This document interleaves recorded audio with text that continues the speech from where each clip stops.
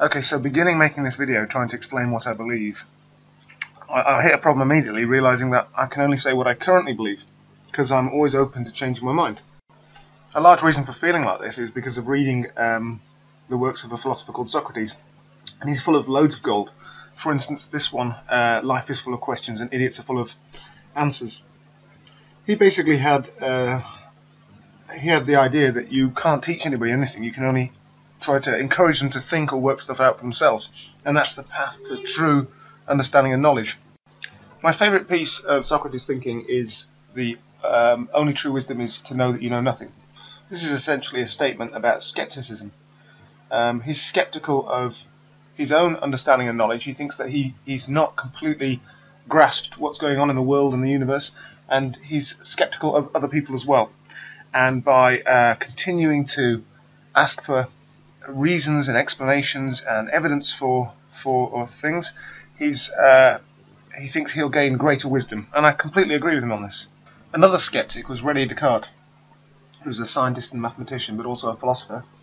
And um, again, you can see here from this quote: "If you would be a seeker after truth, it is necessary at least once in your life to doubt as far as possible all things."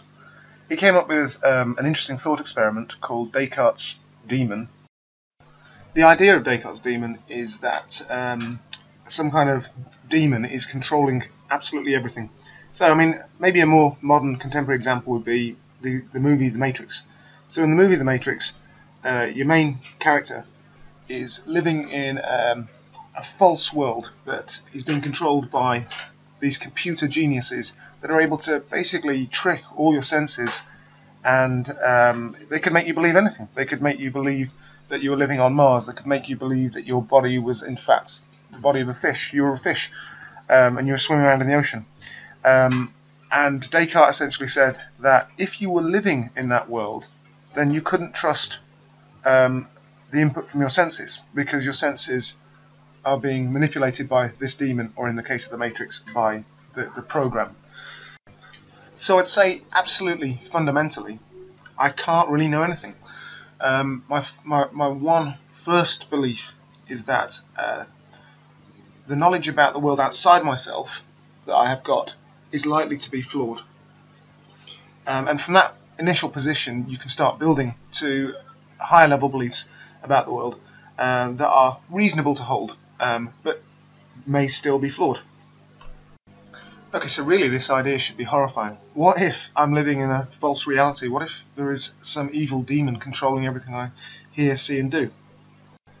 Now I actually do quite literally believe that you can't know if that's the case. But um, even if it was the case that we did live in um, some kind of false reality like uh, represented in the Matrix, um, I don't think it would bother me that much. So in the movie, Neo's given the choice. He can either swallow the blue pill and his story ends and he wakes up in bed and he continues living in the um, the false reality, or he can swallow the red pill Morpheus is offering him, and um, then he can find out what the true reality is. Now, if you imagine that Neo did swallow um, the blue pill and wake up in bed and continue his life as a computer programmer and going uh, through the motions in this false reality, and let's imagine he falls in love and meets a girl and has children, etc. Would that make his life any less meaningful? Would his experiences in life be false experiences? He'd still have memories. He'd still have um, have lived his life. Um, so, uh, as far as I'm concerned, um, Neo had a cool adventure when he swallowed the red pill, but he'd, he'd have probably had a cool adventure if he'd swallowed the blue pill. Um, so this doesn't really concern me that, that reality is false in, in uh, quotation marks. The things that give meaning to your life and the things that make life worth living are essentially events that happen inside your brain. Um, so yes, then the idea that the uh, reality is is false in some way um, doesn't affect your subjective experience of reality. Okay. So then the question becomes, how do I add um, number two to my list of things I can believe if my first one is uh, I know that all knowledge I gain is likely to be flawed or, or incomplete. Um, well, here I would make an appeal to aesthetic sense, really.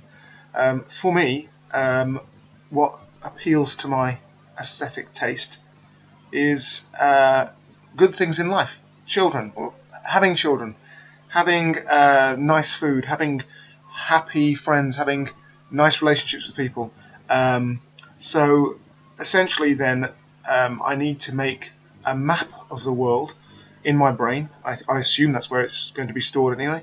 Um, and with this map of the world, um, this will help me uh, navigate my way through life's problems and situations and hopefully enable me to maximize the things I consider good in life.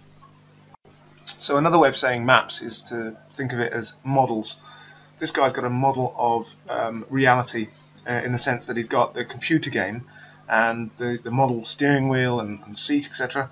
And he can play around with that computer game and he can practice like uh, uh, how fast can you take this corner and try going a bit faster or a bit slower and, and experiment and see what happens without actually um, screwing up in, in real life.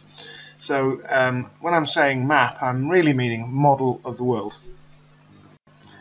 So once we accept that building models of the world is a good idea, because it allows you to make predictions and uh, maximize your chances of uh, getting the good things in life, um, then it sort of makes sense to take as an article of faith, and this is genuinely faith. You, you can't get evidence for this, um, but uh, that reality is real and it can be understood, and that the rules that govern the reality of the universe can actually be worked out. Okay, so this is a famous experiment that Galileo did to show that um, objects, regardless of their mass, will accelerate at the same rate when dropped in, in the Earth's gravitational field. Um, the point of showing this is that uh, up until uh, Galileo showed this and did this experiment, um, people believed that heavy objects would fall faster than light objects, and no one bothered to do the experiment. So the point I'm making here is, is that if you have a model of how you think things work, you should test that model against reality. This has proven to be the most reliable way of discovering if your model is any good.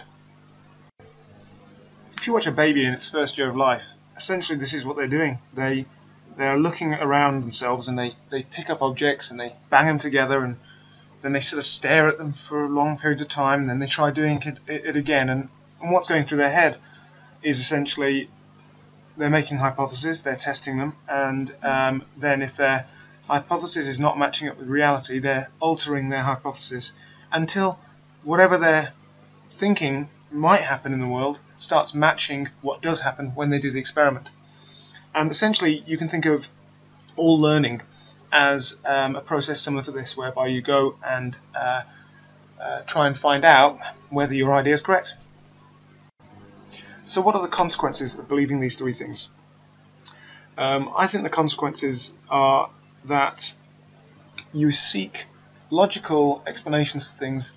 Um, you are not dogmatic. If you have um, a strongly held belief, you're willing to change it um, with uh, when new evidence comes to light, um, or someone can show you that um, the method that you're using or the belief that you have um, is counterproductive and not allowing you to achieve the things that you think are good in life.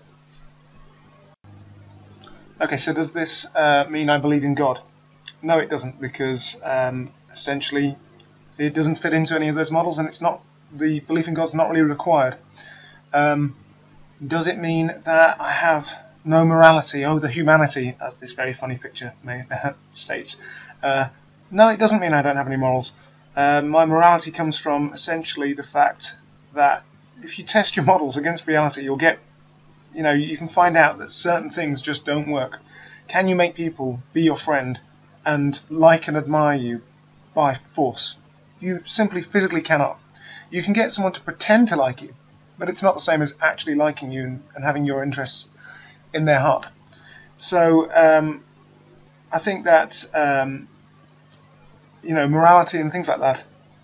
They're things that um, are innate in human beings.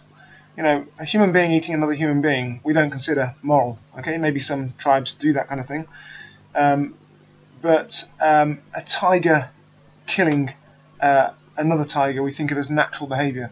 I think natural behaviour for human beings is to be kind and to be treat each other um, with dignity and respect. Um, that's part of human nature, and um, evolution has uh, installed that in us, if you like. Um, so uh, that's what I believe. I believe those three statements, and from those three statements, I think you can pretty much get everywhere.